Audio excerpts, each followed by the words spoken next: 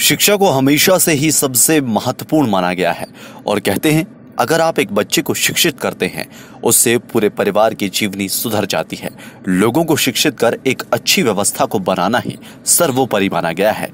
आज हम बात कर रहे हैं उन बच्चों की, जो गौरीघाट में दिया बनाकर बेचने का काम करते हैं।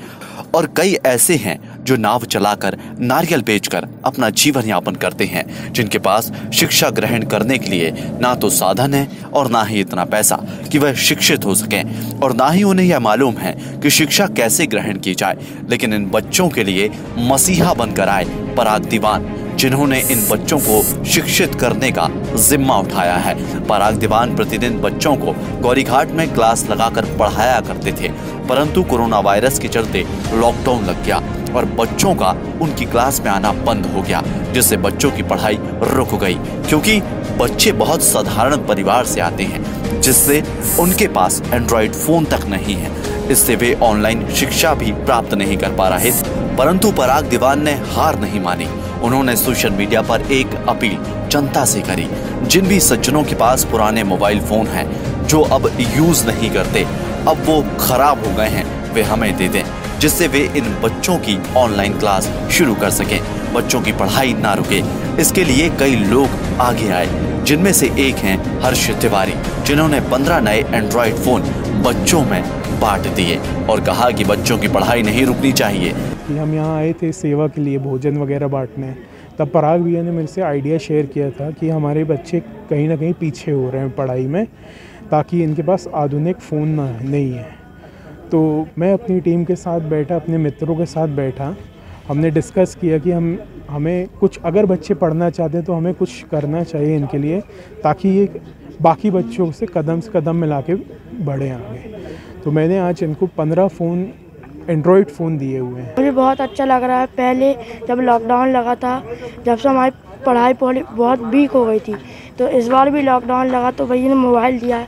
इसके बगैर हम पढ़ सकते हैं जी की तरफ़ से। राग भैया ने दिया है वही हमें बहुत पहले से पढ़ाते थे। ऑनलाइन क्लास अच्छा लगता है कभी कभार गलती भी हो जाती है, फिर भी बहुत अच्छा लगता है। इसके साथ ही अन्य समाज सेवी भी सामने आए और अब तक पराग सर के पास उनसठ मोबाइल एकत्रित हो चुके हैं और तेरह मोबाइल फ़ोन की और ज़रूरत है।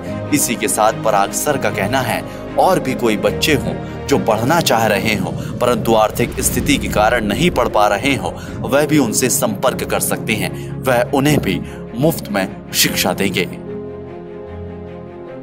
एक्चुअली मैं इन बच्चों को 2016 से पढ़ा रहा हूँ और 2016 के बाद आपने देखा 2020 से ये लॉकडाउन लगा है लास्ट ईयर भी लॉकडाउन में ऐसा ही हुआ था, इनकी पढ़ाई पीछे हो गई थी। सारे मिडिल क्लास के बच्चे, सारे रिच फैमिली के बच्चे ऑनलाइन क्लासेस कोचिंग जा रहे हैं। तो नर्मदा जी के तट पे बैठा था और मेरे दिमाग में आइडिया आया कि क्यों ना मैं भी इनको ऑनलाइन क्लासेस चालू करूँ। ये अभावहीन बच्चे हैं जो दिए की दुकान लगाते हैं, नारियल बेचते हैं, नाव चलाते हैं तो इनके पास इतना पैसा नहीं है कि इतने महँगे मोबाइल अफोर्ड कर पाएँ। तो मैंने ये डिसाइड किया एक फ़ेसबुक के माध्यम से मैंने मुहिम चालू करी कि जो जिनके पास पुराना एंड्रॉयड फ़ोन है बैटरी ख़राब हो बैटरी बदलवा लेंगे मदरबोर्ड ख़राब हो बदलवा लेंगे। तो इसी दौरान इसी दौरान हर्ष से मेरा मैंने ये आइडिया दिया और तुरंत वो पंद्रह फ़ोन इन बच्चों को देखे गया। अभी मेरे पास total fifty nine phone collect हुए हैं। तेरह और चाहिए और बस चार तारीख से इनकी लाइव क्लासेस चालू हो जाएँगी। हाँ यहाँ पे मेरे पास टोटल सात साल से लेके बाईस साल तक के बच्चे हैं। जो भी बच्चा free of cost online class लेना चाहता है, बिल्कुल आप मुझे कॉन्टैक्ट करिए।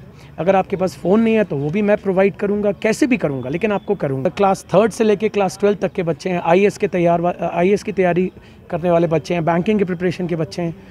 और ऐसे ही बच्चे हैं जो बहुत अभावहीन हैं। तो मैं चाहूँगा जो भी ऐसा है, आप बिल्कुल मुझे कांटेक्ट करें। मैं रेडी हूँ अपनी सेवा देने के लिए। लेकिन सौ में से ऐसे दो तीन शिक्षक ज़रूर होते हैं जिन्होंने अपना इस को अपना व्यवसाय बना लिया है। लेकिन नर्मदा मैया उन्हें अकल दे, नर्मदा मैया उन्हें सदबुद्धि दे कि वो भी ऐसा कार्य करें। पल पल इंडिया पराग सर के इस जज्बे को सलाम करता है और आप सभी दर्शकों से आग्रह करता है कि बच्चों की मदद के लिए आगे आए और इन बच्चों को शिक्षित करने में पराग सर की मदद करें। ब्यूरो रिपोर्ट, टीम पलपल पल इंडिया।